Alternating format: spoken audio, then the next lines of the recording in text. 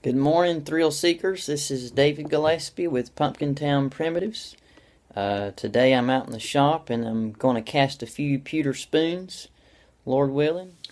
Today we'll be doing a little casting from my original spoon mold from about 1710. It's a Queen Anne trifid mold. It's uh, bronze. Looks like it has a lot of copper content in it.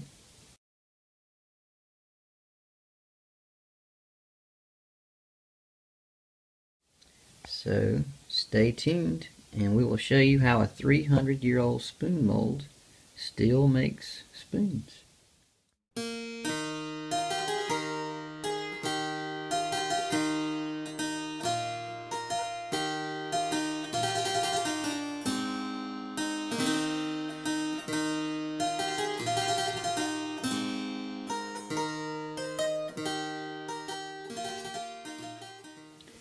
Here's the inside of the spoon mold in the two pieces. You can see on the, the rear the, the rat tail finial there. And it's still in great shape after 300 years. It's in good polished order. So the two pieces just go together like that. And then you pour right down the spout. So, let's make a pour here. And I try to go slow.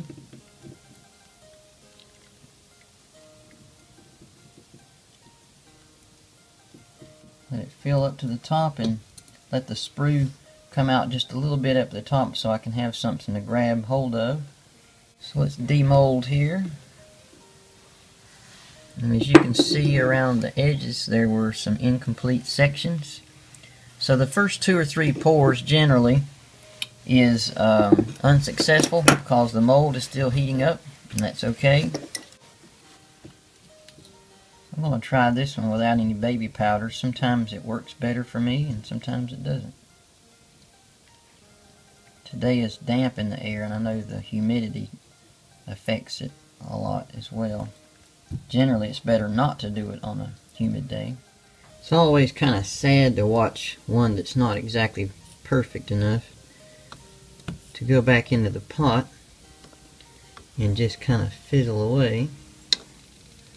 But I kind of look at it like the catch and release program in fishing. We just didn't like this one, so we're going to throw it back and know that it'll make a better one, Lord's willing. Something?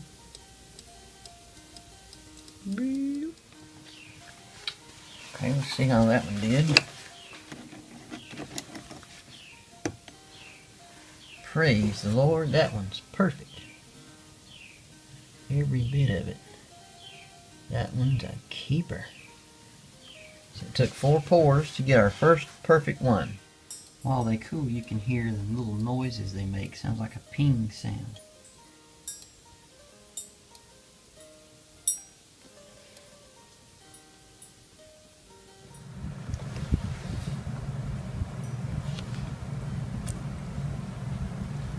Praise the Lord, that one looks perfect. I like it. I can work with that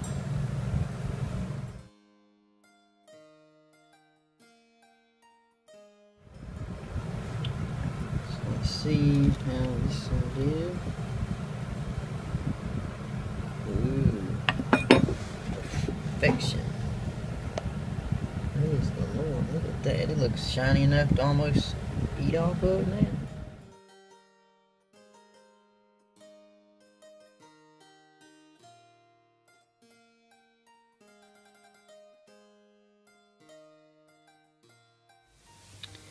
So after casting and cooling, I'll just take a pair of these uh, cutters and just trim off the flashing.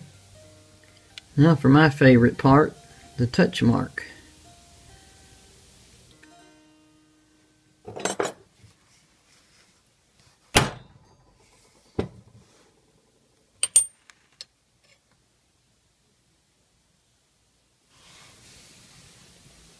Now with a little file and a little bit of time,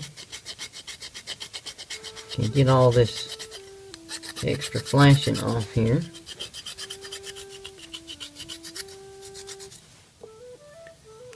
So right especially where the sprue is, just take a file and knock that off. Just take a file generally all the way around the flashing, just like so. So lastly, I use a Scotch-Brite pad to kind of give it a nice working finish. You can polish it as much as you like. Get it on down, but this is about all I need here. So here is today's catch, so to speak. I had just enough time to cast a few of these. These are just as cast, so they still have the uh, flashing from this mold uh, here. And then these are two that I have finished up, polished down. And see the back there. And we also have another mold, which is this one, which is the same age. It's about 300 years old, and it's a, a larger spoon, so it's more of what we call a serving spoon. So you can see the comparison of size between the two there.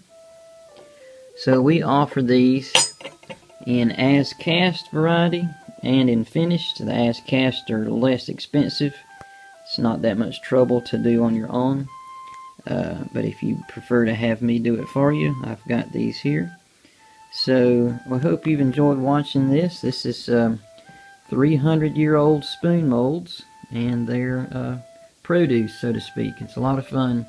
If you've never seen it done or always wanted to do it, I recommend getting a mold and trying it for yourself. You've never, there's not as an experience quite like it.